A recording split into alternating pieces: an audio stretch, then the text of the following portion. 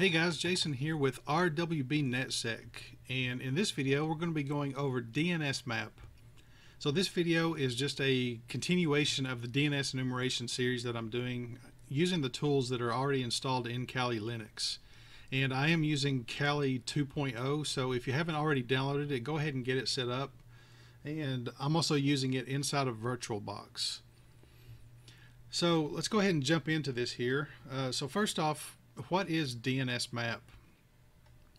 Uh, it's basically just a tool that you can use to brute force subdomains against a target host. Uh, the tool was originally written back in 2006 and looking at the page here on Google it looks like there haven't been any updates done to it since 2010.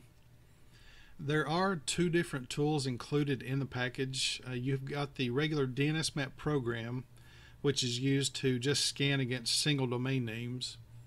And then you've got a dnsmap-bulk.sh file, which you can use to scan multiple domains using a provided text file. So DNSmap itself is written in C. So if you're curious as to how it works on the back end, you can download the package from Google here and view the source code for the for the program. So let's go ahead and minimize this here and I will provide all these links in the description below for you guys. So to get to DNS map within Kali, uh, just go to applications, information gathering, uh, DNS analysis, and then DNS map. Let's pull this up here. So you can see that there aren't many options available to use for it. It's a it's actually a pretty simple program. Um, all it all it does is brute force subdomains, and that's pretty much it. But it does it pretty well, I guess. So going over the switches that are available, uh, the first one here you've got TACW. And this one allows you to specify your own word list to use while it's running its scan. Uh, by default, if you don't use this switch, DNS map will use its own built-in word list, but if you have downloaded others from the internet or created your own, then you can use TACW to specify the location of your file. Uh, TACR will allow you to take the results that you get and write them to a file.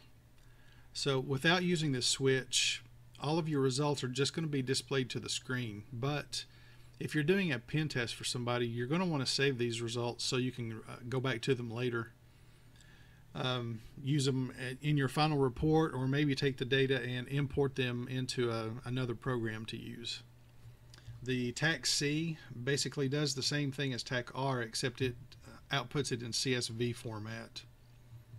Uh, the TAC-D and TAC-I, uh, I don't really use those so I'm not going to cover them here but you can see here in the description what they're used for. And it does show you some examples here of the syntax and, and how to type everything in. So one thing that I did, I've already run a scan with it. Not this one.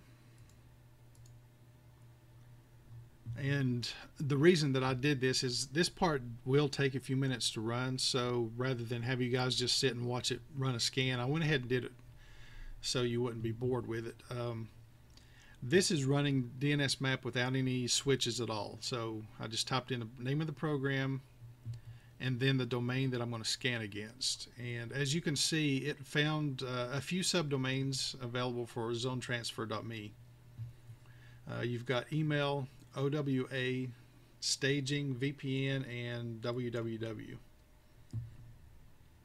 One other thing that you can do, if you go back and say you wanted to save these results to a file, if you add in the TAC-R switch, and then you can point it to the location of where you want to save the file.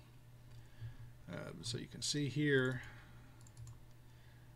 I've already got one created. I'm not sure if that one finished. Let me open this one up. You can see this is what the results file is going to look like. Uh, it basically just takes everything that you would see inside the terminal window and that's what you'll see inside of your text file.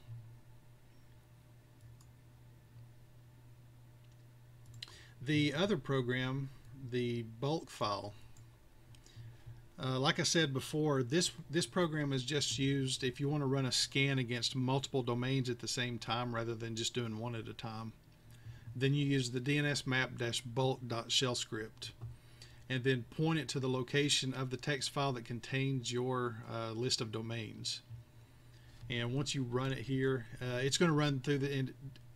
It will call the actual DNS map program itself, and that's what it'll use to run all of its scans. So the results that you get out of this program are going to be exactly the same as if you were just using DNS map against uh, one domain at a time. I'm going to go ahead and stop this one here, not run it through.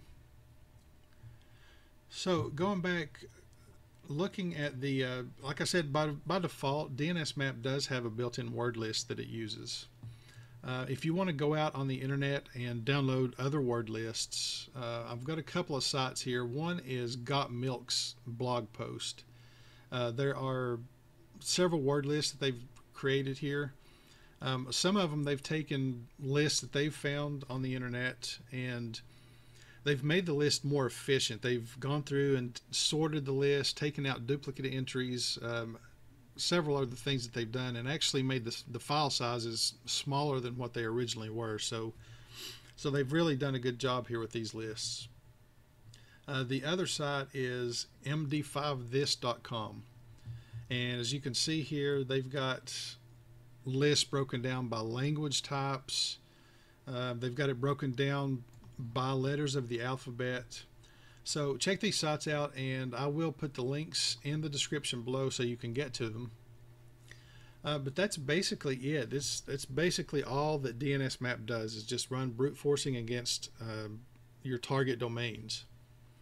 So I hope you found this video to be useful and helpful. Um, if you haven't already, check out the other videos on DNS enumeration. I've, I've just started this series, so I'm working through getting the uh, videos created. And I'm also creating a text version of the videos on my website at rwbnetsec.com. So check that out when you get a chance. I've got screenshots there and, uh, like I said, the text version of the videos. So thank you guys for watching. Um, subscribe to the channel if you haven't done so already. Uh, give the video a thumbs up if you like it. Uh, leave comments below. And I hope you all have a great day. Thanks again for watching. See ya.